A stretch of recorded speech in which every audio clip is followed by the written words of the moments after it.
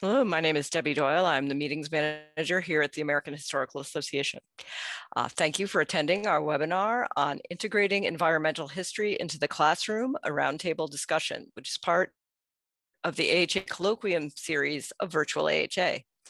We're excited to have you join us and are looking forward to a productive discussion. I would like to thank our generous sponsors, the National Endowment for the Humanities, the Stanton Foundation, the History Channel, and Oxford University Press. You can support virtual AHA and other AHA activities by joining the association, or if you're already a member, making a donation today. We'll post links with details in the chat at the end of the conversation today. A few logistical things to go over before we start the webinar. By registering for participating in the AHA's webinars, participants and panelists agree to abide by the AHA's Code of Professional Conduct. Please use the Q&A function to submit questions to the presenters. We hope to address all relevant questions, but since we need to be mindful of the time, we may paraphrase or combine questions. If you'd like to be a part of the conversation on social media, remember to use the virtual AHA hashtag. Finally, a quick reminder that this webinar is being recorded and we'll share the recording on the AHA's YouTube channel sometime after the session. I'll now turn things over to the chair of our session today, Christopher Boyer from the University of Illinois at Chicago. Thank you.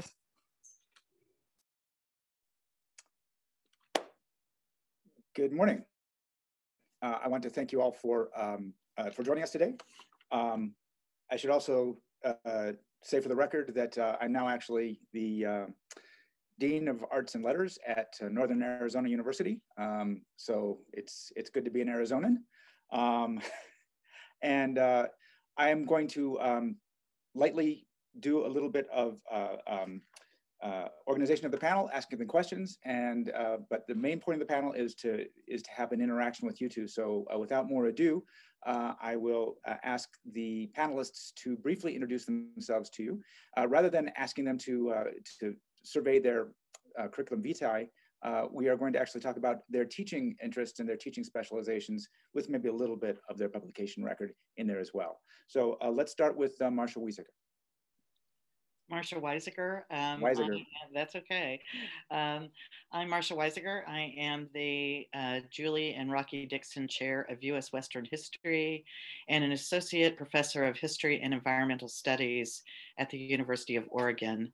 Um, my last monograph was called Dreaming of Sheep in Navajo Country, so I, uh, which deals with um, gender, environment, and uh, indigenous history. Um, and as a teacher, I uh, teach a lot of upper division courses to undergraduates in environmental history or um, uh, US Western history, and also graduate students in environmental history. Um, and most of my um, students are actually environmental studies majors, which presents unique uh, challenges and opportunities. Thank you, Marsha. Um, next up is Darren Speece.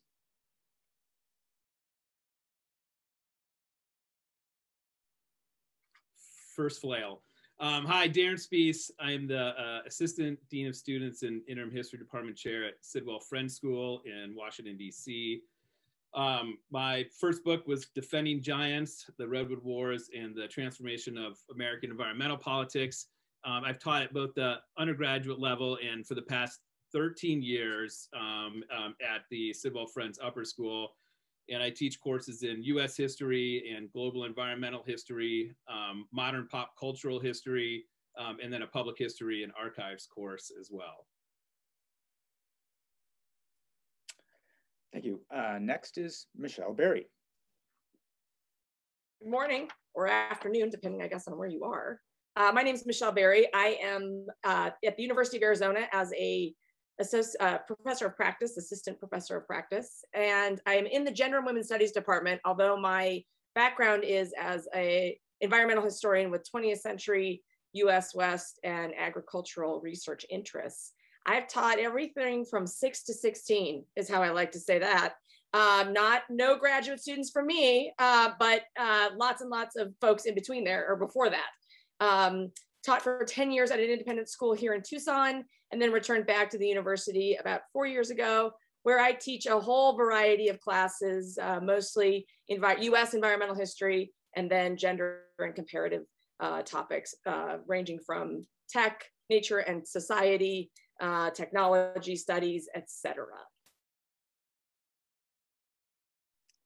And finally, uh, a, a, dear colleague of mine uh, from who I knew actually back when she was still a graduate student at the University of Arizona, Emily Wakild.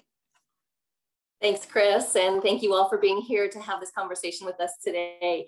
Um, I am a professor of history and director of environmental studies at Boise State University in Idaho.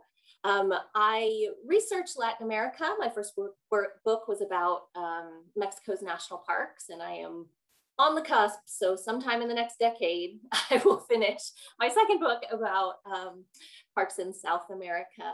But I had, like Michelle had taught and, and Darren have taught a really wide range of students. Before graduate school, I taught for three years on the US Mexico border, science and social studies at the sixth grade level with a program called Teach for America. In graduate school, I was lucky enough to teach a whole range of different classes, both as a TA and an independent instructor. I had the privilege of serving as a TA for Michelle back in the day, in fact. Um, and then I taught for five years at an elite um, private small liberal arts college in the South and then um, teaching small um, boutique amazingly personal classes with students and then in a, in a range of topics from latin america to global environmental and then i came to boise state and have also taught a wide range from introductory surveys to um, small topical surveys at the graduate and undergraduate level. Three years ago, I moved over out of history and into environmental studies full time, and that's been an interesting um, intellectual switch and also switch in the type of teaching that I do. So we have uh, a suite of five questions uh, that we're going to pose. Uh, what's going to happen is that the, the panelists will discuss these questions. Uh, we have a, a, a, rough order in which they will uh, address some of the questions, and then um, I will actually keep, time so that we are able to uh, get through the questions in, in time to open it up to the participants who are who are now number 43 um, so that there can be a robust uh, back and forth between the panelists and the, uh, the audience. So without more ado, um, how can we integrate environmental history more fully into the, into the discipline of history or the humanities curriculum generally? And here I'm talking about particularly in a holistic way, um, one that doesn't make environmental issues seem episodic, such as you know, teaching the Columbian Exchange and then moving on, you know, that, that environmental moment is, is over and we've moved to something else. Uh, um, or make it, uh, or, or as in some classes, sort of that center around catastrophism. Uh, for example, the Dust Bowl. So integrating environmental history into the curriculum. All right, I get to go first on this one. Um, I, I was thinking about the, the ways in which I started to integrate environmental history into my US survey course um, kind of evolved out of having my students read um, Thomas Andrews' kind of article about the five C's of historical thinking. So context, change over time, contingency, causality, and complexity. And I forcefully told my students that we had to add another one that wasn't a C, but that we had to start thinking about nature as a historical force. And like that stayed on the whiteboard in the room that I taught in all year long. Um, and, and so we just kind of repeatedly would ask and weave in questions about ecology and climate and landscapes and bugs into what we were studying. And I had a couple of examples that folks might be interested in. One was around the American Revolution, um, having students look at um, at some of the at some excerpts from John McNeill's Mosquito Empires to start to think about the role that disease and bugs played in that war, and that also then translated them, you know, a few weeks later when we were talking about the Haitian Revolution to talk about again kind of yellow fever and bugs and the role that mosquitoes played um, um, um, in those in those periods of time. Um, we can also do, you know, like thinking about the Gulf Coast and the expansion of the Cotton Kingdom and the changes in the landscape that that wrought onto the uh, lower Mississippi River Valley. Um, those have been really useful to just keep coming home and, and actually in surveys at the end of the classes when I ask students like what they remember most, like half of them will write nature is a historical force, uh, which I find is a great victory um, in my pop culture seminar, one of the units we do is like um, uh, the history of monsters in film. and focusing on kind of modern, you know, the swamp thing and various kinds of environmental monsters um, that appear again as a way to try to like pull those things together. And then I have them write an essay uh, review of Black Panther um, as an environmental historian. And the title of it has to be The Secret Environmental History of Black Panther. And so I think those are some of the ways in which I've worked to kind of weave in environmental history into um, the broader history curriculum. Yeah, I would just I would add what what Darren has sort of just modeled, which is it sounds super obvious, but intentionality. So the way that we integrate the environment into history and other humanities classes is by meaning to do so. Um, and looking for it. And we, when we create our lesson plans and we create our curriculum, nearly every story we tell has at its core um, some some part of, of nature, some part of non-human environment, right? So one of the things that I think often U.S. historians and maybe folks who, who do global history as well in other places, we often talk a lot about the automobile, right? And the creation of the automobile and all of the changes that that brought in terms of the labor that was required, especially in the United States and the Henry Ford factory system, et cetera. Um, the trade, the trade wars that happen around autom automotive making over time. But at the very crux of that are natural resources. It's about fuel, it's about access to metal resources. And if we just continually encourage our students to see the non-human nature that goes into all of these stories, you can think about global trade and centering something like sugar, then all of a sudden, just exactly what Darren just said, the students begin to go, oh, wait a second, this nature is not a backdrop, it's a player. And sometimes it's actually the driver of human actions and human experiences. And it's around nature that we can see power relationships form because of the nature itself, right? We can think about Mark Fiege, who's written a great uh, book, uh, The Republic of Nature, talking, and, and one of his best chapters is about cotton and about the power of that cotton plant to really affect cultures and, and social relationships. So if we as educators just go into it thinking, where is the environment in the stories I tell? And how can I prioritize and amplify the stories of the non-human? It will happen and the students will eventually just get very used to it. Stick it on the whiteboard, as Darren says. So I don't think we mentioned before, but Michelle and I do have a book about teaching environmental history. and the premise, the intentionality that Michelle was talking about is one of the principles of design, right? So planning for that integration is a step that you have to take before you get in the classroom, right? Whether you get in the classroom, you know, for today or for the entire semester. And we walk through in the chapters of that book 10 different strategies. But the two that I'll talk, talk quickly about right now are timelines, right? And so thinking about how factoring in the environment and giving nature, right, a place in the story changes the cadence of the time that you cover, right? And so one way of doing that might include the Pleistocene, right? What, how much do you talk about the um, catastrophic decline of large mammals over 100, 100 kilograms you know 10,000 years ago. And how does that change what we understand the landscape to look like and how it behaves? That very question is provocative to students right? You might include clips from ice age the film right? Which are always uh, you know, eye-catching, if nothing else. Not as not as interesting as Black Panther, but you know, a couple minutes that gets students thinking about what came before, right? And what came before is often a multi-species menagerie of really interesting connections, right? So thinking about those timelines, it applies not just to the really deep past, but it also applies to the cadence of how we understand change, right? So the revolutions, the political change that make it into a civilizational narrative can be countered by energy transitions. And energy transitions is another place where designing for it allows it to have a space in your classroom, right? The automobile example that Michelle talked about, but also thinking about the vast transformation of how people have used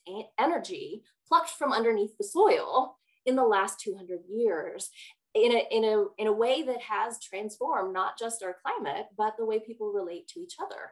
And that doesn't necessarily, it's so big, it doesn't necessarily factor in to say a US survey class, right? Where's your data lecture on that? Well, it's probably not a day, And so in order to make sure students understand the vastness of that transformation, it needs to be put in ahead of time and to think about those timescales. And in my experience, asking students to, to rework those timelines with you can be a really useful exercise for them too. Well, I would say that what I mean, I come from a position that states, as Mark Fiege's book, um, The Republic of Nature, does, that all history is environmental history. And so it's always a theme in my course. Uh, any course that I have, how the environment influence things is one of the themes that we track through the entire course.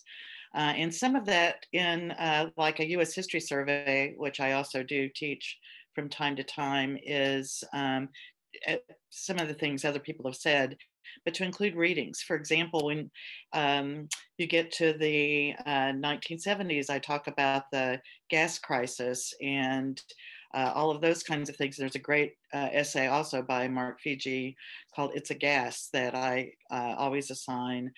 But uh, there are lots of different places in which you can find good readings that are really accessible for any level where somebody's distilled their book into an article that's not too wonky i will assign that uh, as one of the readings. Uh, but also whenever you talk about social movements is another opportunity to talk about environmental politics and it's really easy to integrate. So it does uh, I have to say it's a minor theme in my environmental in my US history survey class. It's the major theme when I teach US Western history.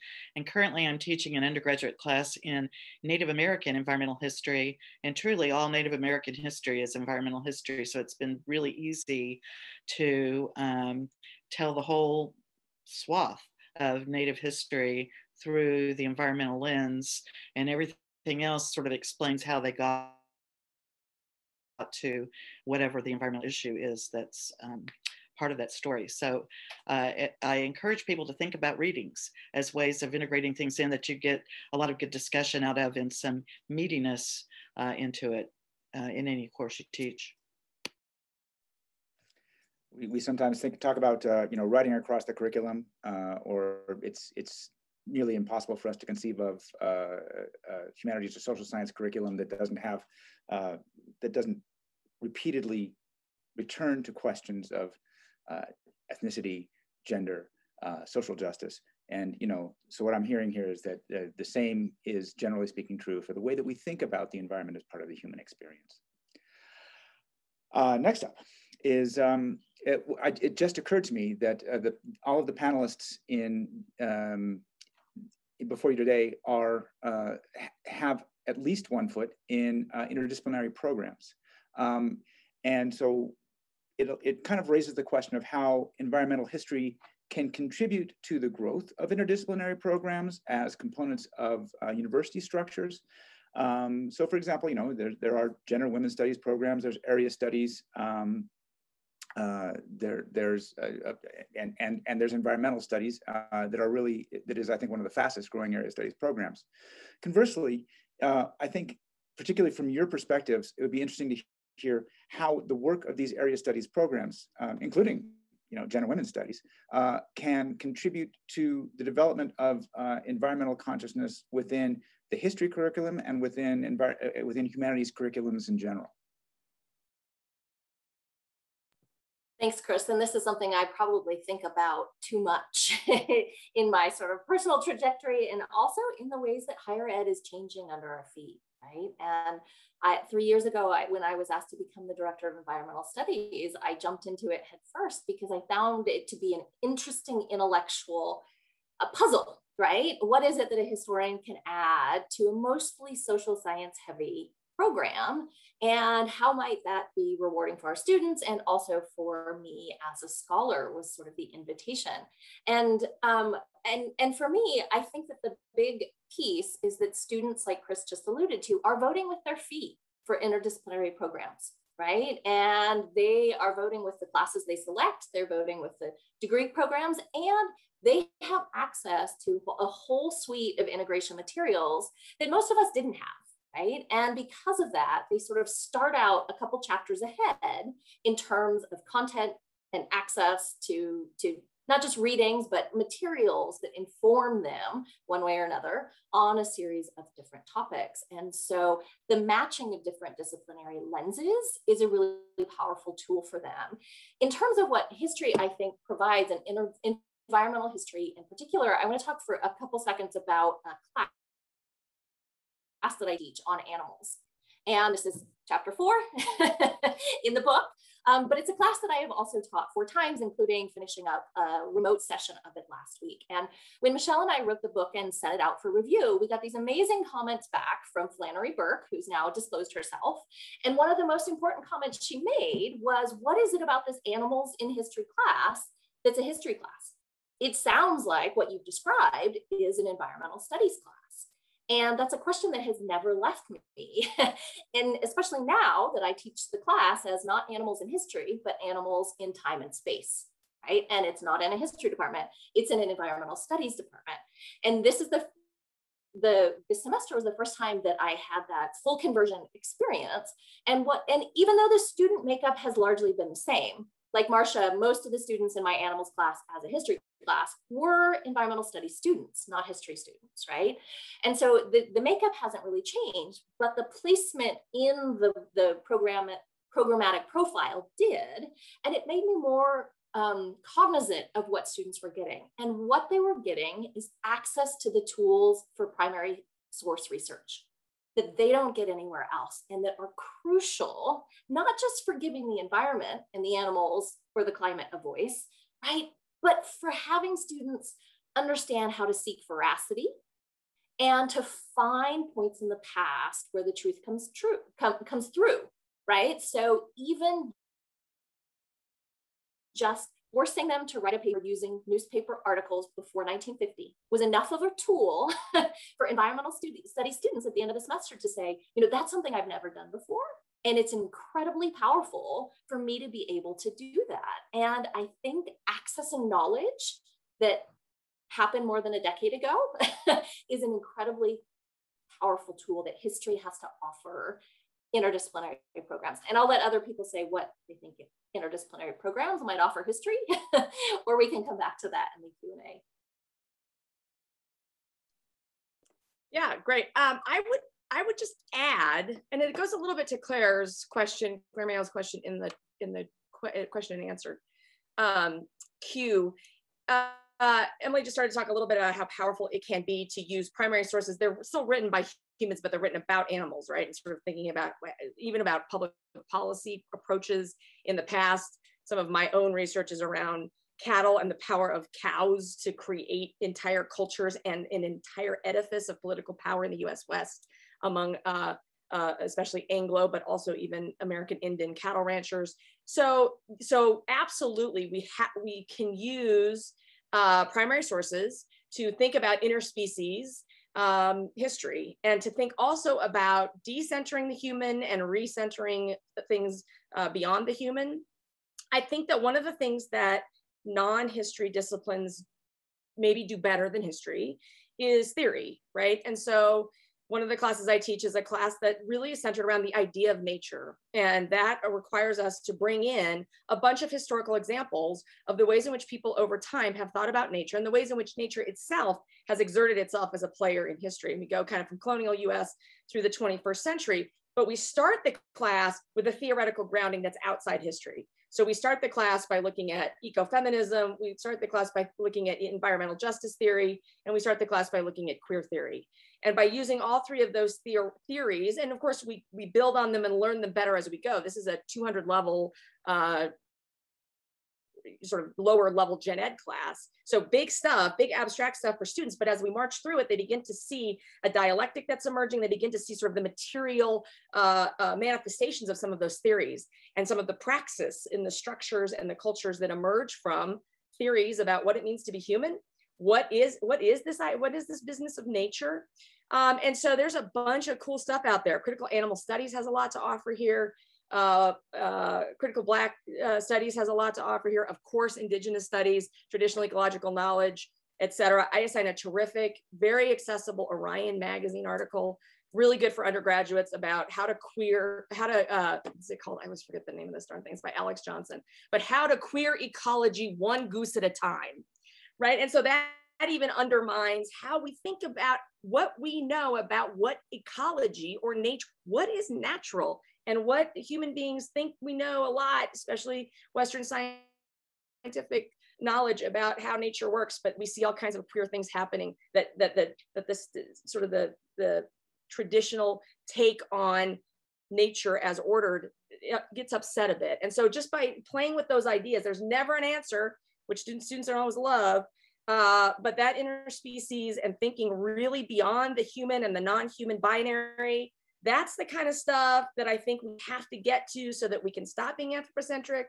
we can center and include the non-human in all of our conversations, and we have to start by thinking about inter and trans species stuff. And I think that's what at least some of the gender women studies and ethnic studies, et cetera, have to offer. Yeah, the um, there's I've been recognizing here there's a why in many ways Emily and I are like kindred spirits. We in terms of our fascination with parks.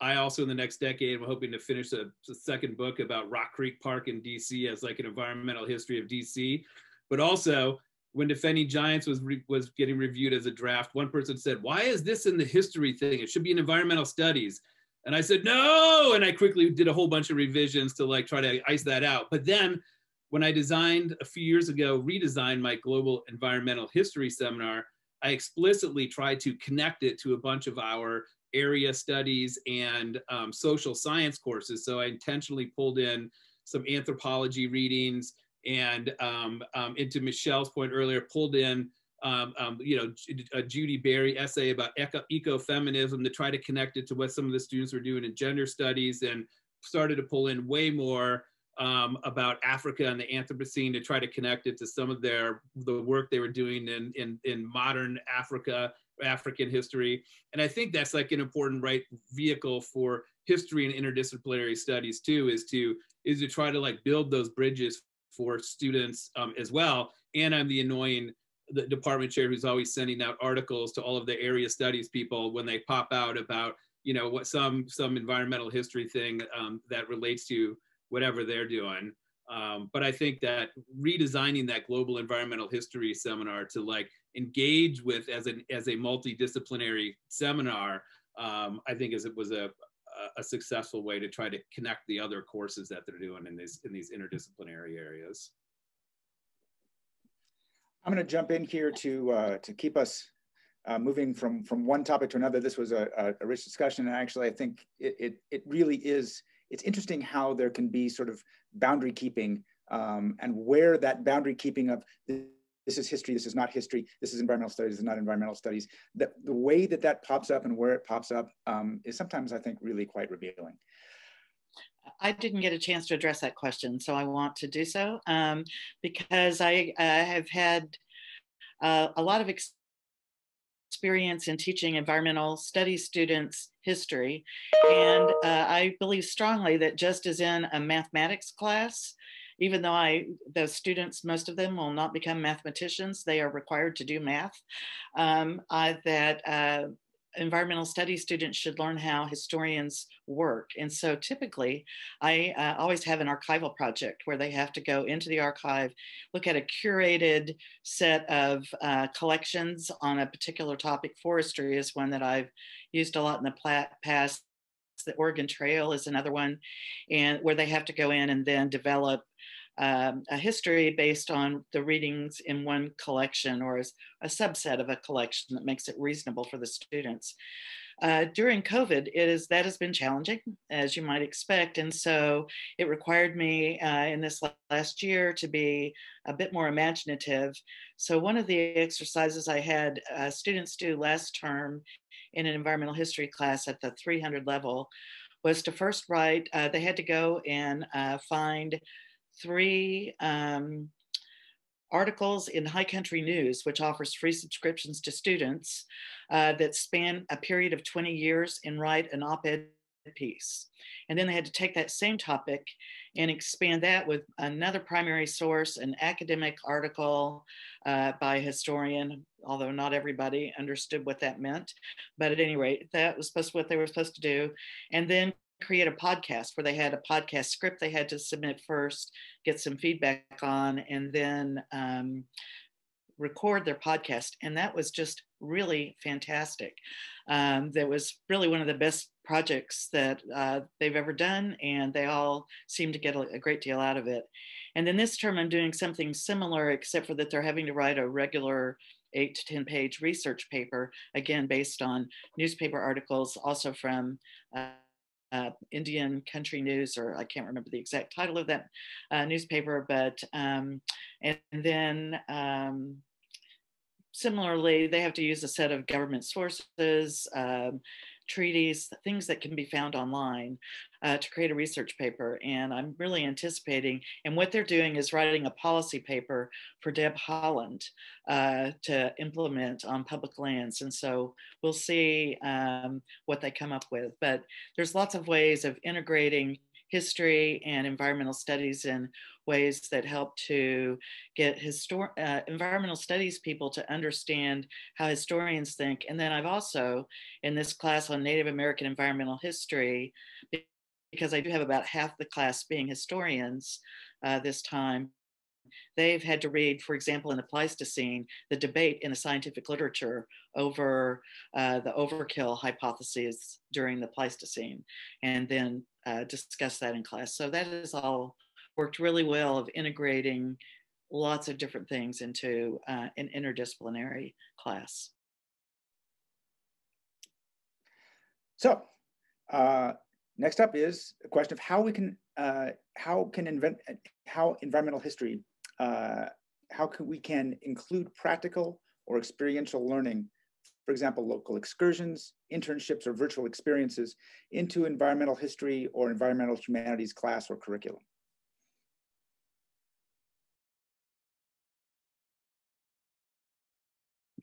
Okay, I'm going to give a short presentation where I'm going to share my screen to show how I have developed. We do field trips in um, my environmental uh, history classes typically, although not during COVID. But uh, it's been a challenge at first to figure out field trips that didn't require us to uh, get in cars and go someplace. And so this is what I come up with. And I will share my screen and show you briefly how this is done. Let's see.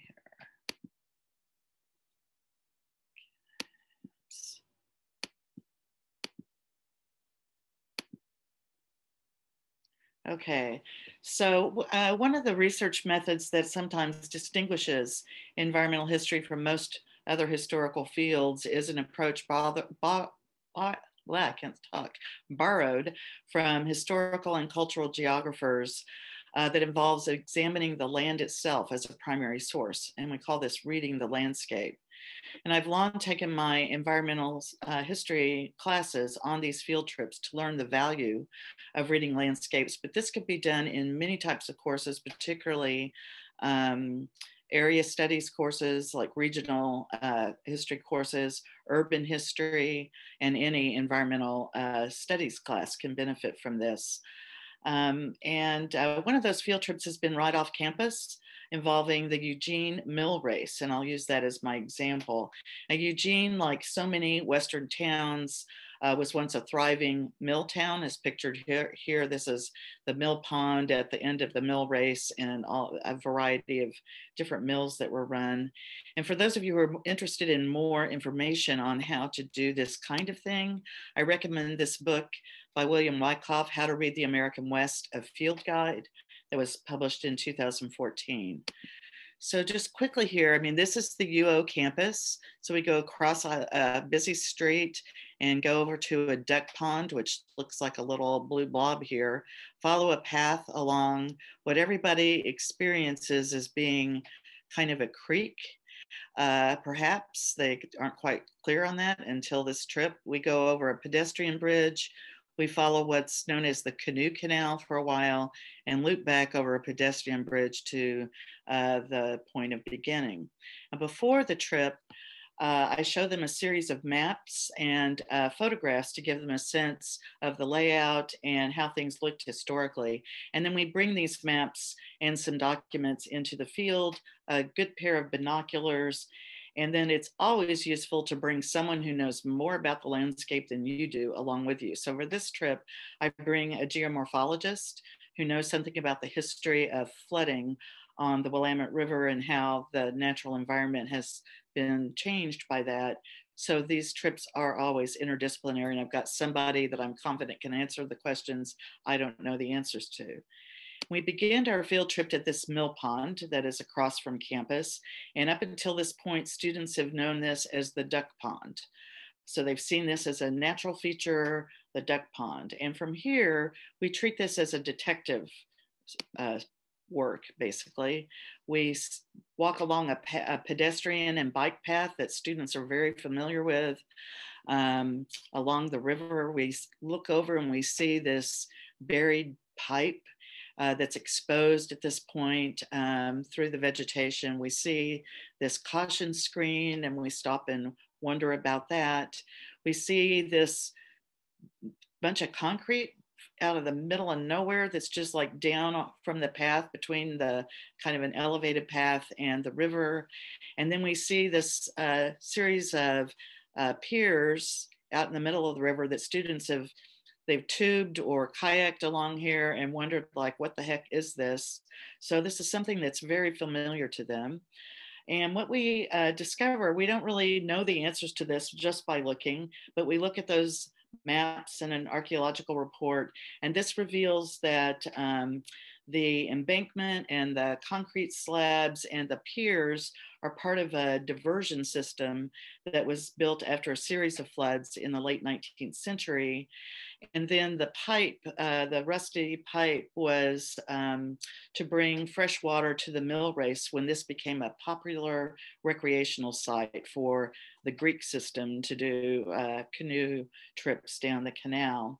And the most surprising thing we discover is that this uh, popular running path, which is shown in red here along this map, uh, and is called the Canoe Canal, isn't a canoe at all. It's actually a slough created uh, when the river jumped course, basically jumped channels. Uh, so it's a remnant of the braided uh, Willamette River uh, that changed in 1890. So you know, we show that you reading the landscape raises the questions that, that we can then go and look at the archival sources to find the answers to in sort of an interactive kind of thing. So we learn through all of this not only that the man-made environment like the duck pond and the mill race that people had assumed were part of the natural landscape uh, are actually man-made and that the thing that they thought was uh, man-made, the canoe canal, is natural. So one, this helps us to see all of the different ways that human history and nature are deeply intertwined. And that is, of course, the key lesson, I think, of environmental history, but also urban and regional history. So I encourage you all uh, to look around your own campuses to see what environmental stories you might be able to tell. I've also done trips that didn't fare so well that uh, so you have to you know keep trying them out and tweaking them to make them work um, but uh, it can be really satisfying. And we do this typically like on a Friday and Saturday. I repeat them. It takes about three hours, which also includes a stop at a picnic table uh, near the end where they reflect on what they've learned and write something down uh, before we leave. So we do it on a Friday and Saturday so that students can uh, fit it into their schedules and then give it uh, as many points as I would give a, a short writing assignment uh, for the class. So anyway, that's what I recommend to y'all. I will unshare my screen. There.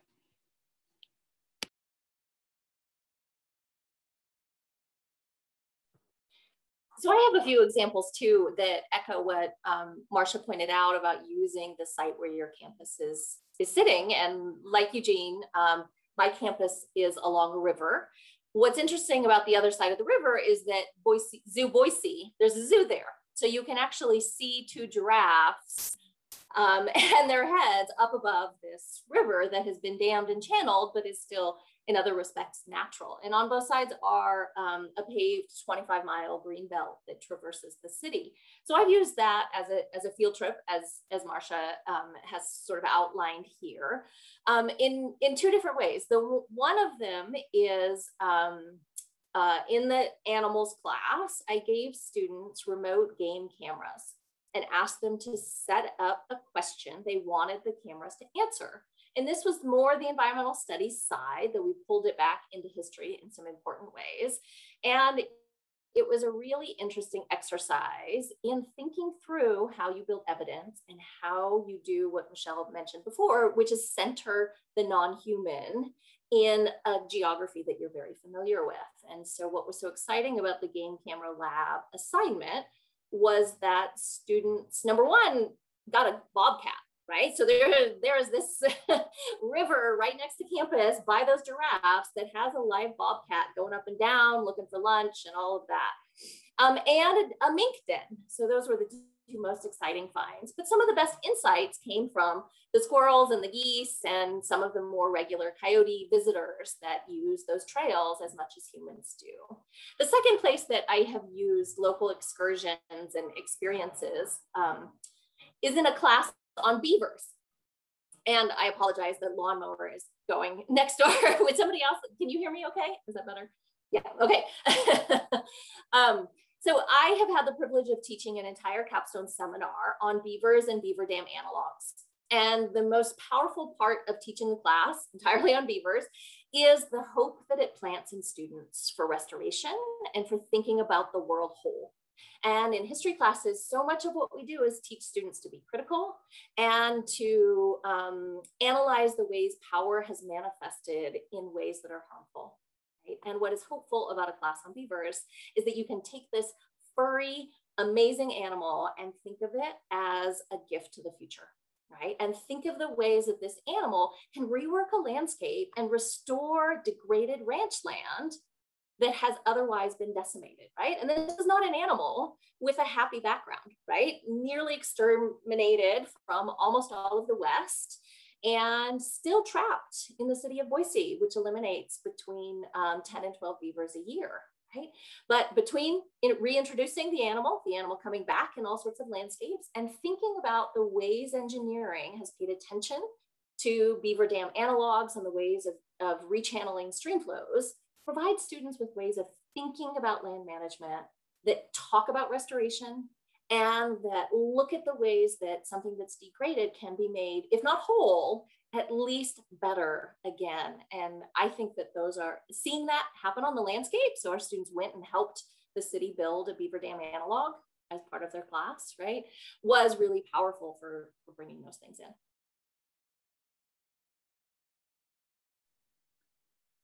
I'll just add one short piece on on onto um, what Emily and Marsha described. With I also like to use our campus um, uh, much smaller than than Eugene or or Boise State, but still very useful and tucked in between two kind of tributaries of of the Potomac and Rock Creek. Um, we ran a pilot for this last year and then had to you know scrap it during COVID, but um, getting students to um, in our archives on campus to investigate the history of the landscape and the history of the campus and using aerial photographs and maps and architect reports and you know rifling through old school newspapers to try to piece together some kind of stories about the the built environment um, um, on our property and on the campus and to see it as a changing you know ever developing and evolving um, um process and landscape I think has been really cool. And, and next year, when we get to run it for an entire semester, uh, it'll be fun. And the thing that they, I think, like most about it is, is then we'll turn them into um, exhibits for campus for on display as like an official part of right the wayside markers or a museum exhibit so to take kind of what they know about this very familiar intimate place and then to be able to kind of show you know the rest of the of, of the proverbial world i suppose um, some of their findings and to take that then and, and make it something public, I think will be uh, will be exciting if the pilot project last year um, taught taught us anything.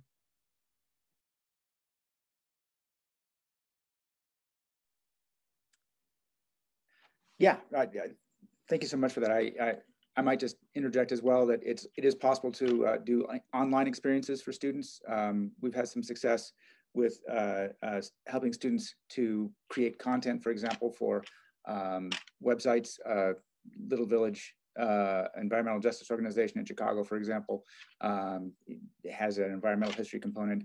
Um, we've also had some students who get involved with museums um, and you you it's it, it is possible to have virtual experiences that I think are also uh, experiential uh, and can help uh, students to think of, to learn in new ways and to be doing doing independent learning. Um, so particularly, you know, in the last 10, 15 years, uh, questions of um, uh, social justice, um, race, class, gender um, have begun to permeate the scholarship on environmental history uh, as well. And um, I was wondering if we could talk a little bit about uh, how we could use environmental history to address issues of inclusivity and social justice within the history curriculum, or once again, for those of you who work within a broader uh, interdisciplinary or humanities curriculum, uh, how it might fit within. Well, my answer to that also kind of dovetails with the experiential um, and and the pedagogy that I use called project or and or problem based learning. Um, and I think what's what's powerful about environmental history is that if there's anything that we all have in common, that everyone in the hum in the human in Homo sapiens across the world have in common, is our dependence on the non-human world. Uh, we're not going to make it if we have profoundly unhealthy ecosystems, if we have non functioning biomes, if our biodiversity disappears, we're in huge trouble. Uh, when our forests get knocked down and, and, and all of this stuff occurs, as we all know, that's going to affect everyone and it's going to affect them differentially. So, asking students to think about public policy decisions that get made with a certain cultural worldview in mind that decimate ecosystems and then the ramifications of that decimation, um, it can be really, really powerful. So in Tucson, a local example is water, right? And so especially when I taught um, in the high school level, we had a thing called Project Inquiry, and it was an interdis transdisciplinary uh, project-based learning experience for students that asked them not just to investigate some of the social justice uh, social injustice and environmental injustice that has happened due to the water use in this very arid place. But it also asks them to problem solve. And I think I'm very passionate about a couple things. One, to not only think about environmental injustice as affecting humans, but about environmental injustice affecting the environment, right? So when we talk about inclusivity, it should be people from marginalized community and and and people and beings from marginalized communities beyond the human, right? So, and, and, and, the bigger, more expansive we can get, the better. The more inclusive we can be in, th- in our thinking, the better our solutions to our really big problems will be. If you take those big problems and sort of localize them in a way that Darren and Emily and Marsha are talking about, students begin to go, okay, these problems might be solvable, right? Think it's the old dot, you know, the old adage, think local and, and it'll become global or whatever that is. Um, and so for us in in Tucson, it's really about water and it's about groundwater and it's about surface water. Rivers used to flow around here and they don't anymore. And in the last year, because of the mega drought that we're in, they don't even flow during monsoons or during the winter runoffs because the water's just sinking in the water table so low that the runoff is just sinking into the, the ground immediately. So asking students to imagine a Sonoran desert where there were once rivers, to imagine what it looked like when white colonists came in, Spanish colonists and, and others, American colonists came in and sort of began to utilize water for uh, unsustainable practices like cotton farming, et cetera. Asking them to look at that change over time uh, is really powerful. And then saying to them, okay, great. Now we've critiqued the, the heck out of where we are. How do we build something else? What's the new public policy going to have to look like?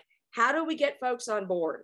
And if you can ask an essential question, right? How can we ensure the, the, the safety of water for all beings in the Tucson Basin from for the next 100, 200 years? And, and have students create whatever it is, whether exactly what Chris is saying, a website that, that goes to a public audience, as Darren is saying, get community partners involved like Tucson Water, which we were able to do, etc. Students begin to see the usefulness of understanding history. They begin to understand, they begin to have some empathy taking happen because they go, oh, wait a second, the Tohono O'odham and other indigenous peoples in this valley got screwed over in this process. How and why and how do we fix that? And then what happens to the Sonoran Desert itself when the water table drops to such an extent that the desert itself dies and we begin to have very intense problems with the, with the heat as it connects to climate change. And believe it or not, if the class sort of takes that project-based perspective and the whole class is around that project, you'd be amazed at all of the ways in which all the things that you can get students to think about transdisciplinary public policy applied history i've realized over the years i'm a i'm an applied historian. I didn't realize that back in the day. I like history for, for history's sake because i'm a nerd but i also really think for most of our students especially in the lower division classes or the non-majors this is about arming them with tools to go in the world and make a big difference. And so i think that that is um, sort of where we can have environmental history be project based, maybe be local, be problem solving, um, and always contributing to social justice because you can't do a good job solving the problems by having a narrow view of the problem itself. That's pretty exciting, Michelle. Um, I, um, I, I wanted to share just a couple of minutes about thinking about um, inclusivity and social justice kind of in in the classroom itself and the ways in which I've tried to design my global environmental history course to accomplish it. And I, I, I think about it and, or have grown over the past several years to be thinking about in terms of the numbers of kind of windows and mirrors that I offer students into right seeing themselves in what we study, but also windows into seeing people that are not them. And I think that's been super powerful. And I it, a, a huge shout out if you haven't ever been there, folks in the audience. But the the syllabus project um, on Zotero is a super amazing resource for kind of helping to do this and to think through. And the way it starts, which I started to think about in terms of connecting, right? Like, like Michelle said, the one thing that all humans have in common is is their right are are various, but all relationships with kind of non-human world, and to be thinking about what are the ways in which I can shift students' gazes around the globe at different points in time during the semester um, and so, right when we're looking at the Columbian Exchange, what happens if we then shift our gaze in the same time period to West Africa and red rice uh, red rice agriculture and the technologies that they develop there. And what does that do? It both gives them right. It it, it kind of decenters them, but it also then I think this is a powerful, possible powerful tool in terms of inclusion and social justice for environmental history. Is that it it helps to create a different right a new narrative than for the Atlantic slave trade as well, right? Here are here are these folks in West Africa who developed these technologies and developed these crops that then were you know used and stolen without giving credit to by South Carolinians. And so being able to kind of change that narrative, or what happens when we're talking about you know forest conservation and we shift our gaze to the Chipko movement in the you know in in, in southern India and tigers. And what does that do in terms of right understanding the relationships between American environmentalism and the rest of the world and the ways that it was built off of right, you know, tree huggers and in southern India and the female kind of led movement over there and right? And so there's these different ways in which and when we look at the anthropocene and, and gabriela hecht's you know africa and the anthropocene article right? What happens when we shift our gaze right elsewhere outside of the the center of the Atlantic world for those of us who right are teaching in the United States, and how can that kind of help to construct new narratives and offer students mirrors and windows where they can see themselves and their families, but also see other people's kind of families and communities in it as well. And I think environmental history it can be a really powerful tool um, um, in helping folks do that. I love this idea of holding up mirrors for students and using that. So thank you for that, Darren. That's really interesting. I want to um, beat the same horse and say animals, I think is the is the the perfect way for addressing issues of inclusivity. One of the wonderful things about teaching class entirely on animals is it's actually about people, right? The animals don't get to speak, they don't get to talk, they're not part of it. What's centered in that class is our relationship with animals and how that changes according to geography and according to time, according to, to culture, right? And how it also doesn't. And so, uh, one of the most powerful things a student said to me this semester was when we were talking about the images they got on their game camera labs and what they found out about the other species that are inhabiting our campus alongside them that they didn't know they were there. It was, I asked them what they should do with that information. Do they need to share it? Right? Is that something that they should tell other students about? Should there be a social media campaign? You know, like what do we do with that information?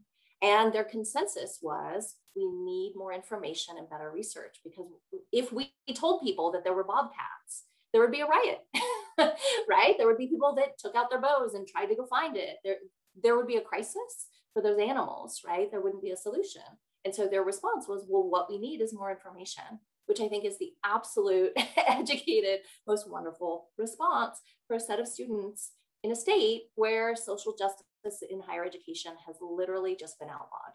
They pulled $1.5 million from our budget specifically to not be able to teach it, right? And so if we can't teach about social justice across races and ethnicities, how about we do it across species lines? And we watch the big bad wolf for its racial implications for the 1930s because it's all there and the students get it, right? And we, we think about the persecution of the wolf as a metaphor for the different ways people have persecuted each other, right? And students love to talk about animals, right? Animals are disarming and it allows them to, to, to become disembodied, frankly, and to not identify with either side. And I think that is also one of the paths forward, right?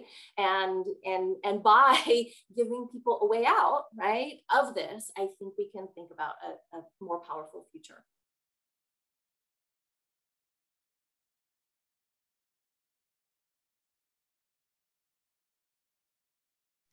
By the way, just to be clear, Emily, I did not come up with the mirrors and windows things.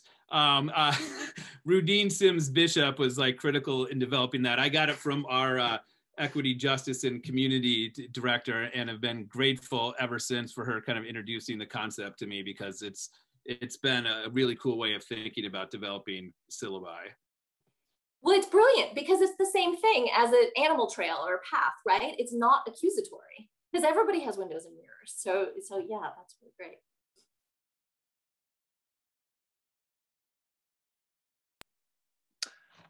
Well, thank you so much. Um, you know, I, I, this has been a, a terrifically rich conversation, um, but I'd like to open it up to um, our audience and, and our, our, listeners. Um, uh, and maybe I would start by, uh, by repeating the question from Claire Mayo uh, about uh, how instructor, how can instructors approach environmental history as an interspecies history? Now, maybe uh, we've already sort of done this, um, but one of the questions, I think it's really important to, to, ask, do you include primary sources from other disciplines um, to move beyond this anthropogenic na narrative?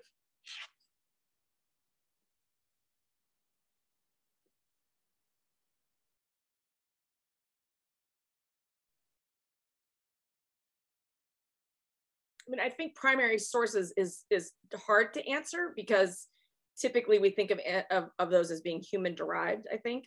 Um, but focusing on using primary sources that are primarily about the non-human um, uh, is, is really interesting to think about. So in my own work on cattle ranchers, there was a whole, a whole I don't know, enthusiastic effort in the 1950s to seed the clouds to bring the rains. Um, in really the last mega drought uh, that hit that hit the, the Southwest uh, in the 1953 to 55. We're, we're there now, but um, and so it, it was kind of it's kind of interesting to just like give primary sources that were uh, created letters from ranchers who were in favor of this, uh, uh, ag, ag bulletins, right, that that were promoting this amazing new technology, and then a few off voices in the ranching community that were sort of like, wait a minute, why are we doing this? This there's nothing good that can come from this. We don't know what we're doing. This isn't going to work. It's going to hurt. It's going to. I mean, it wasn't the term then, microclimate, but they were basically talking about all the shifts that would occur as a result of shifting microclimates with this kind of um, uh, scientific approach. And so it's it's a great question about primary sources um, from other disciplines. Indeed, there's all kinds of cool things out there but they are somewhat human authored. I don't know if other people have thoughts about that, but but just even just thinking about trying to keep uh, the non-human centered in the sources you use is really cool. And then of course there's a ton of trans other.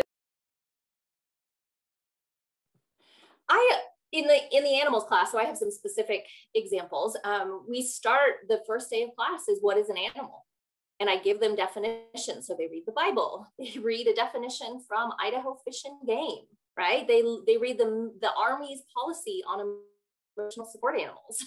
they read PETA's website and you know a whole slew of other things, and they also read a scientific article from 1959. Why are there so many kinds of animals, right? And so I do try and arm them, and all of those could be history primary sources, but all of them could also be sort of what Claire's question was, what are they outside of it? And so we use those definitions as a way of building our own definition of what is a non-human animal, and then kind of use that to, to walk forward into sets of the literature. I think one of the powerful things of including non-human actors in the historical past is to think about the different ways people have listened in the past to those things, right? So it's not just how different disciplines talk about them today, but it's the ways that people were listening and trying to understand them you know in in the 19th century in the 15th century and and well before that. And some of that brings us all the way to paleoecology right? There's some super exciting scientific research that's coming out right now saying that the population collapse in amazonia was not in the 16th century it was in the 9th century right? And that's based on lake deposits and soil samples. And that's transformational, right? Because that means that Amazonia was connected with Cahokia and it was connected with the Mayans in ways that, that historical documents don't allow us to excavate. One of the things I've been using because I'm teaching a Native American environmental history class is um, traditional stories that uh, emphasize um, animals as kin to Native people and just getting students to understand. I mean, I push back against the stereotype of the ecological Indian on the one hand. So it's a delicate dance, I would say, but um, but they under, become come to understand that there are other ways of thinking about relationships with animals than the way we typically in Western societies do, and that that is really what underpins so much of uh, what we see as Native American stewardship of land has to do with this sense of relationships uh, that we seem to have excised in many ways in our own culture and see that as perhaps a model of moving forward, of, of thinking about those relationships in new ways. So, uh, and there, uh, it takes some reading about things to sort of fully understand uh, those stories so that you can present them and be the mediator uh, with those stories. But uh, there's lots and lots of these published stories uh, out there and museum exhibits with images and all kinds of things that you can use to uh, try to get that across to students. And I think they really appreciate that and under and really take to it. Uh, in part, maybe because their own pet relationships with animals help them to understand how you might feel a relationship in a way that they hadn't really thought about before. I have to just add that years ago, Marsha came to my high school classroom. I don't know if she remembers this at St. Gregory College Prep through the Western History Association and did an amazing workshop on primary sources that centered, that allowed students to really get at sort of the, the, the beyond the human. Um, and I think Robin Kimmerer's stuff and traditional ecological knowledge, if, you, if you've not done Braiding Sweetgrass, all everybody, it's a phenomenal text to assign undergraduates and high school students because it's accessible, it's not the ecological Indian because she's a she's a she's a biologist, right? Biologist, ecologist. So yeah, she's yeah. A, a, botanist or ecologist. Yeah. yeah, yeah, yeah. So anyway, so that so that kind of text really uh, is really, really powerful, I think, in all these settings. Yeah, I have to say, I've assigned in this particular uh, term uh, maybe four different chapters of that, and it's a our library has it as an ebook, so it's been free for them to read. And then I had a different set of chapters that I uh, introduced last term in a different class. I try not to have too much overlap in case I have overlapping students. But I didn't remember that, Michelle, that that was your class. That was the greatest time, and they are the smartest kids. Uh, but um, yeah, I was surprised. I mean, when I wrote Dreaming of Sheep in Navajo Country, I didn't think of it as a book about animals, even though it's about sheep. Uh, it really hadn't, I had, didn't think about that until people doing animal studies classes and food studies classes contacted me for primary sources to help teach that. So there's lots of ways in which uh, history is, um, is about animals if you just think about it in uh, animal terms instead of human terms.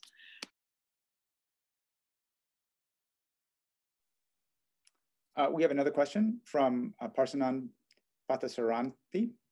Um, to what extent do all of you teach how we have ended up in our current predicament with the environment in non-environmental history courses?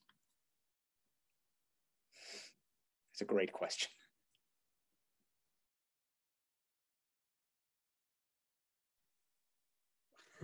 What So- did you do this, Michelle? I did this. Nose goes. I can kind of quickly start with what I hope we'll do this year. One of the things, so in my US history survey course this spring, I experimented with, given that it's the pandemic, um, was um, uh, uh, doing the second half of the survey in reverse chronological order um, and having them start the semester with, or the quarter, um, with a survey about what were their most pressing kind of interests uh, or pre- most pressing concerns about the world right now and what are their kind of top three interests. And then I had them interview their parents and see if their parents could remember when they were in high school, what were their top three kind of concerns and top three interests. And and um, and and in both cases, right, global warming, besides the pandemic, global warming was the number was the number one kind of concern of this group of students. And for their parents, in their kind of top five was pollution.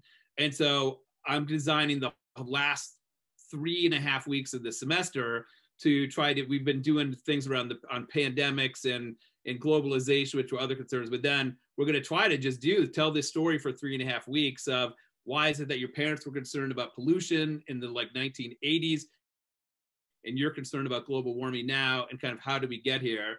Um, and i will kind of rely back on um, some of the work that i do in my environmental history seminar with you know with McNeill's something new under the sun and Gabrielle Hecht's uh, Africa and the, Af- the Africa in the Anthropocene, um, and we'll kind of just tell it. So I, I think it's like getting student input on this stuff is a great way to kind of figure out how to how to, what are they interested in talking about um, towards the ends of a survey course um, unrelated to environmental history um, that can get you there and get some enthusiasm.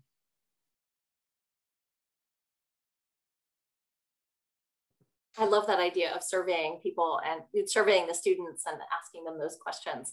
One of the, the novelties of Zoom has been pop-up polls, and I've used that a lot, but I, I like the thought of longer term planning to use that to drive the curriculum and, and some of the focus. I would, my answer to that would be that all history does that. And that's the point, right? That it helps us understand how we arrived here. So even if it's a class about, you know, the, the pre-Columbian past or the Neolithic age, that I think those all help us understand that because those transitions, when you mark them for students on a larger timeline, they see possibility for those future transitions, right? So they help us understand how we got here, how those cumulative small decisions and also those big transitions like the energy transition, right? Like the revolution in human rights and all those pieces sort of add up to that. So I think environmental history is like other history in that way. I don't think it is exceptional, except like how we've said, it allows for non-human actors to stand in as agents of history as well and to see those the ways that that's played out. When I when I taught more of the US survey, I admit that capitalism became the the the one villain in the stories that I told. so I tended to do thematic teaching for the survey and I had four themes. Um, one of them being the environment, but the others being gender, uh, labor and the economy, and then sort of uh, military, race, and then environment. I guess number four. And what sort of held the th thread, whether I intended it or not, what came out for students almost every single semester or year was that the thread was that consumer capitalism sort of leads to these decisions that Emily's talking about. Tom McCarthy's book on automania is really a great book to sort of show the ways in which, you know, Henry Ford sort of started out a bit, a bit of a conservationist. And then there are all these weird decisions that get made about how we go from using ethanol and alcohol as a fuel to using fossil fuels and, and gas and oil. And it, it's a fascinating story to be told of decisions being made with a profit motive in mind, but also to meet consumer demand and sort of that interesting dialectic that happens in a bunch of different settings. And I didn't mean it necessarily to be the thread, but it always ended up being the thread. So I guess if we, if I ever answered the question of how did we get here, it was often based on sort of, uh, you know, unregulated or under-regulated consumer capitalism run amok and, and the ways in which that gets understood to be patriotic, understood to be uh, one's duty, uh, one's one's claim to success is to buy stuff and, and have material goods, and that has very real ramifications on the on the non-human environment, including pollution back in the day and climate change now, right? So. One thing I did uh, last year, I had to teach um, asynchronously the U.S. History Survey, and I hadn't taught the survey for a long time, but I had planned to do this when, if we had met in person. Uh, so I went ahead and did it where, um, and they had pre-recorded uh, lectures that they uh, listened to that were PowerPoint slide presentations.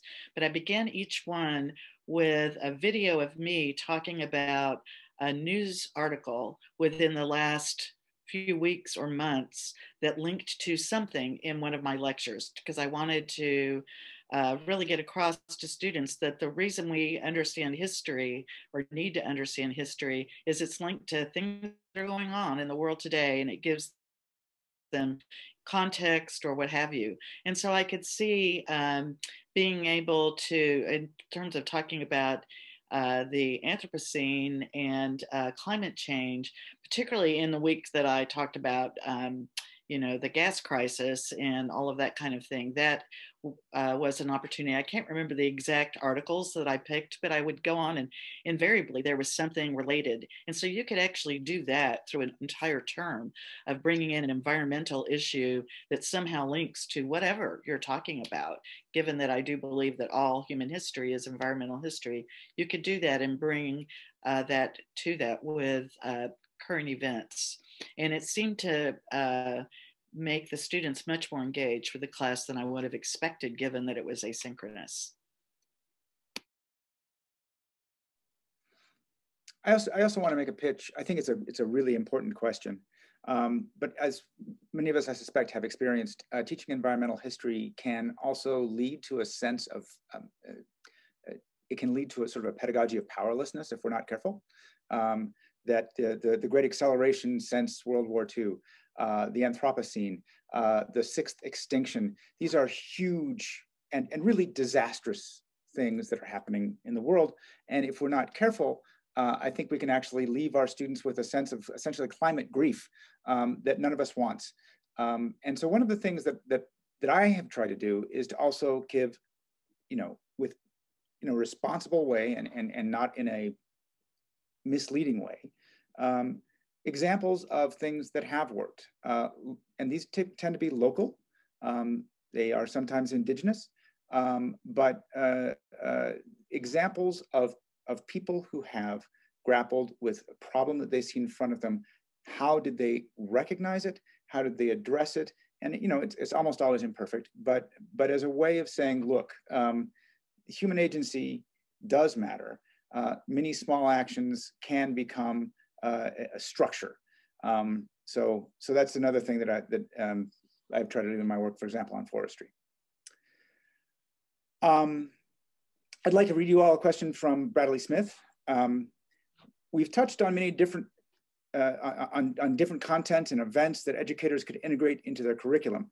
However, not all instructors can integrate everything into a non-environmental course all at once. Do you have ideas for one or two environmental shifts, themes, elements that a new educator could start to integrate into their class? Two quick ones. So if you teach nothing else in the non-human world, teach energy, right? It is the most powerful, and you have a couple examples of how to do that with automobiles, how to do that sort of with timelines, but it is the thing students think least about that has most powerfully transformed the last three generations, right? And so thinking about how my grandmother, right, didn't have electricity, but how, you know, all of the students in your class have known it is a fundamental transformation. So putting energy, putting an example or a module or a lecture of energy anywhere is, I think, the most important intervention you could make for the climate, for teaching environmental history, and really sort of giving your, your students the tools of curiosity to think about those changes that perhaps they haven't considered. And then the simple one is every time you show an image, ask where nature is. Right? Ask them to identify nature in there, just like you might do with race or gender or anything else, but ask what nature's doing. And the students will see it. And they'll see it in ways that, that, that will surprise you. It doesn't require you to do a new lecture, a new unit. It just requires you to ask them the question. And I think if you do that consistently, you'll start to see um, some really interesting insight. Uh, one thing I would suggest is um, that, first of all, there's a whole body of literature that has emerged. And Lisa Brady has been at the forefront of this, of showing uh, the environmental history of war. And so, to the extent that you're, uh, all of us, even though we don't uh, necessarily teach military history per se. We teach about wars and how they've impacted things. And so I think that always offers an opportunity to talk about what is it, because almost all of them are based ultimately on e natural resources, or it could be as uh, when we look at the Civil War, there's uh, a whole body of literature on how the terrain affected uh, military battles those kinds of things can be incorporated. And then in every class I teach, no matter what uh, course, I always something about um, atomic testing, atomic bomb, uh, something like that. And I will say that um, it is the one, in fact, I'm planning on creating a course on atomic world uh, because it is the one lecture that I give, and it's different in every course, um, where you could hear a pin drop students are really engaged. They haven't usually gotten that anywhere else. And it is what uh, many people think is the marker for the Anthropocene in terms of geological time. So I think it's a, a moment that you can teach, even though it's catastrophic history, uh, but it's still something that they need to know about and uh, makes it very environmental. And there's a wealth of very accessible literature on this uh, to help you the only thing I'd add too is one other. You'd always pick a disease and study disease and get students thinking about, right, disease as organisms and inhabiting ecosystems and the ways, right? And so, and that those are very easy things to just plop in anywhere, you know, from any time period. There's always disease to talk about. And I would add food. Students get it it's around everywhere. It affects everything. Uh, agri- if you're, I think you're maybe, are you a US? I don't know what history you teach. Um, this person asking this question, I'm sorry, I forgot who it was, Bradley. Um, but if you're teaching US, I mean, so much of, so much of what has happened economically um, and socially has centered around agriculture in this country, e- even, even past World War II, even though we want to pretend like we became a post-agricultural country post World War II, we did not.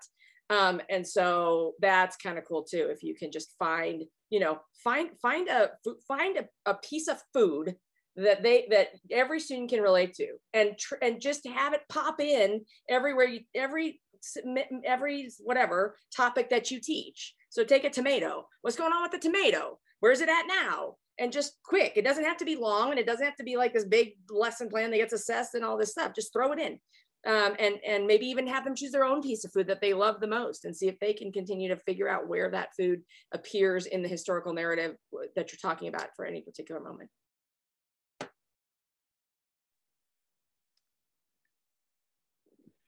I think we can sneak in a couple more questions. Um, by the way, for a great food is banana uh, because it, it, deals with U.S. U.S. imperialism. It deals with transference of anyway. So uh, just uh, two two plugs for the banana right there. Uh, the another question from from Claire, and then hopefully we'll get to, to one more. Um, is you know, how is it that that the how do you address the fundamental question of what is nature, rather than the model of nature out there, the human and the nature, and that dyad that is you know strictly really the part of the Western world in particular. Um, uh, how, you know, how do you deal with the questions of the sense of wild and particularly show that nature is the is uh, is immediate non-human environment in which we we uh, subsist as humans.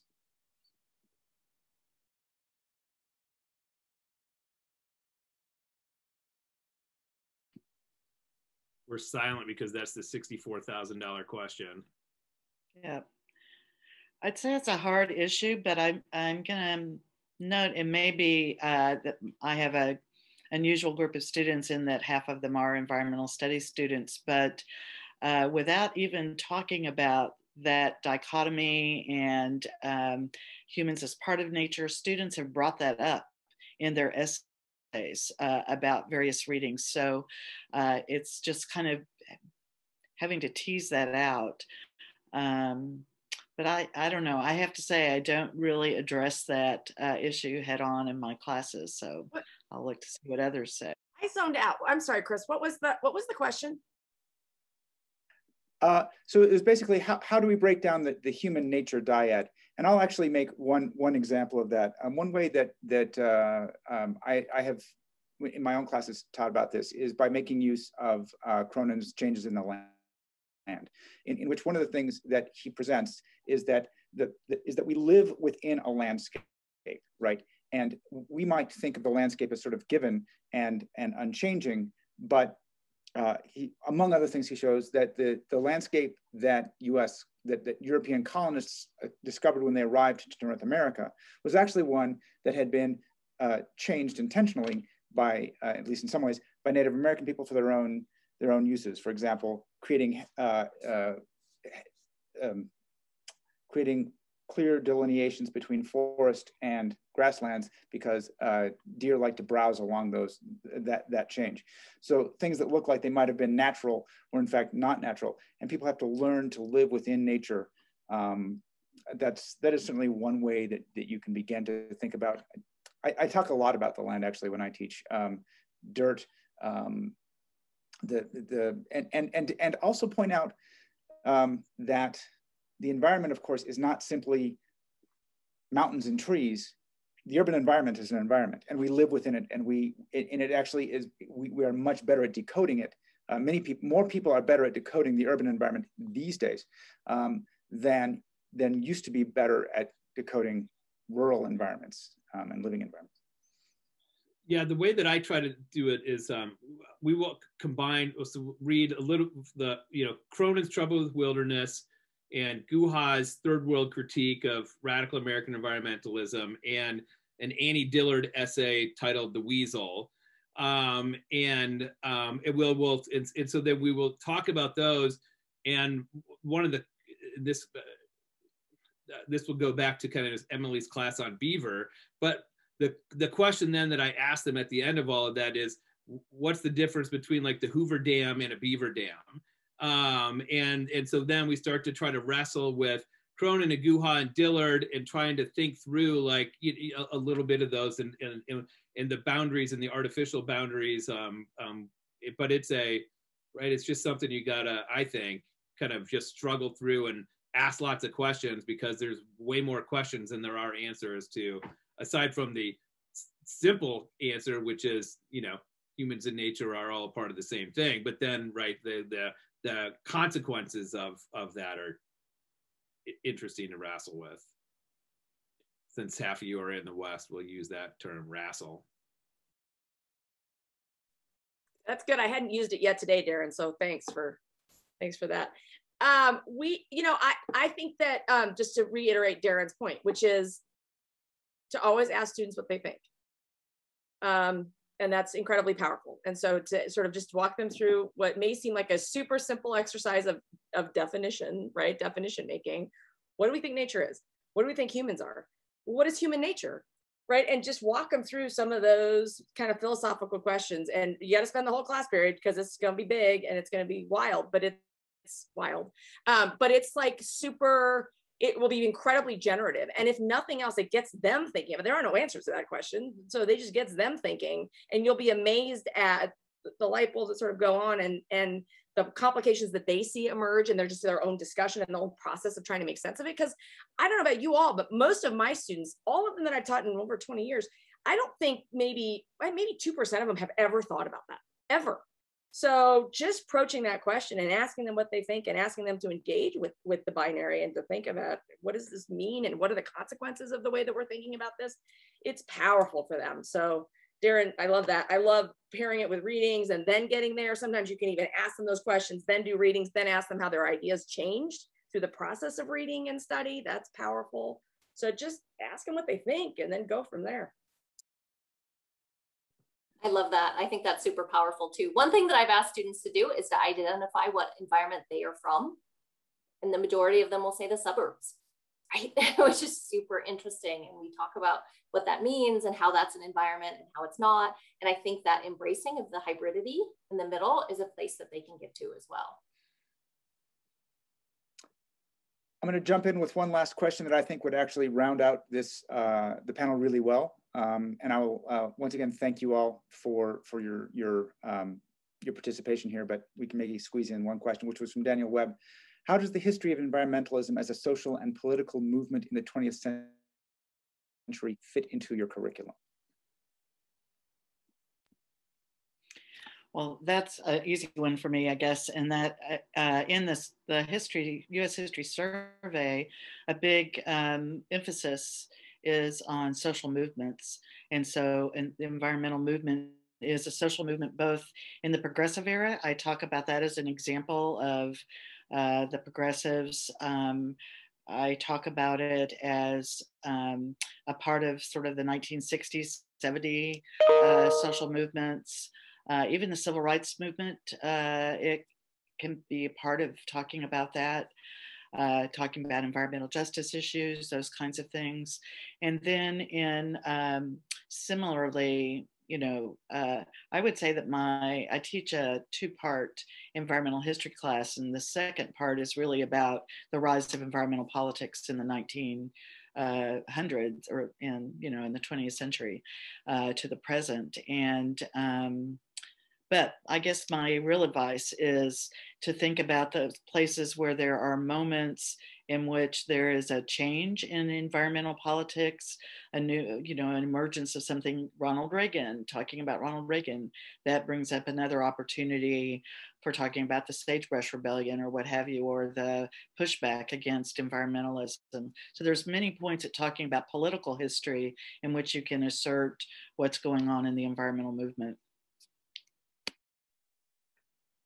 This may be her- heretical, but in given that I write about the environmental movement, but I have utterly like deprioritor- deprioritized it in my U.S. survey. I have, I have much more heavily kind of emphasized and pushed on kind of them seeing nature as a historical force, kind of go to circle all the way back, um, and I have much more elevated the many of the other kind of social movements of the 1960s um, um, um, um, and then the where kind of the environmental movement comes in is, is the part of a a, because we can't cover in any great detail, right? There are so many different rights movements of the 1960s and 70s.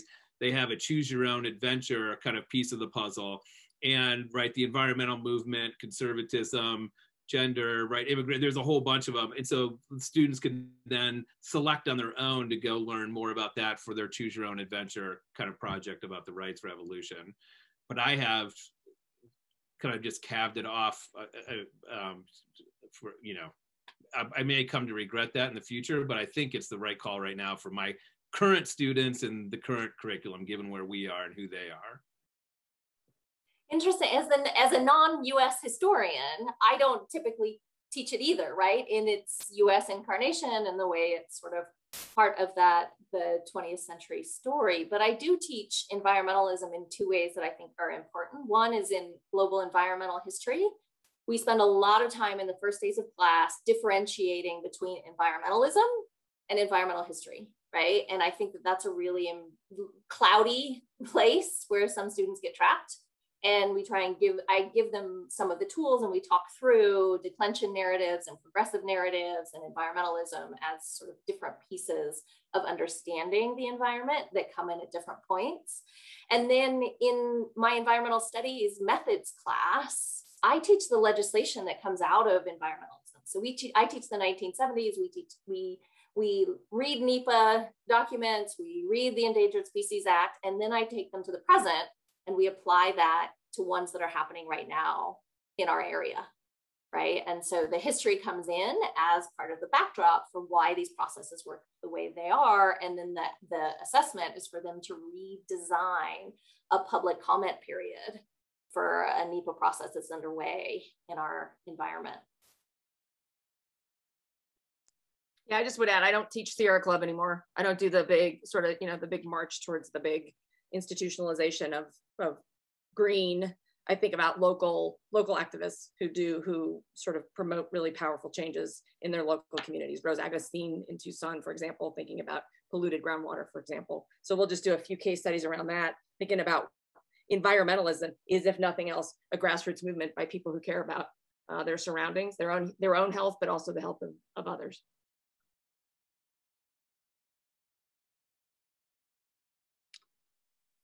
Terrific. Well, I, I think we've um, we've reached our the uh, the end of the the session. Um, and I don't know if um, ah, we do have a message from our sponsors. I'd like Um, to.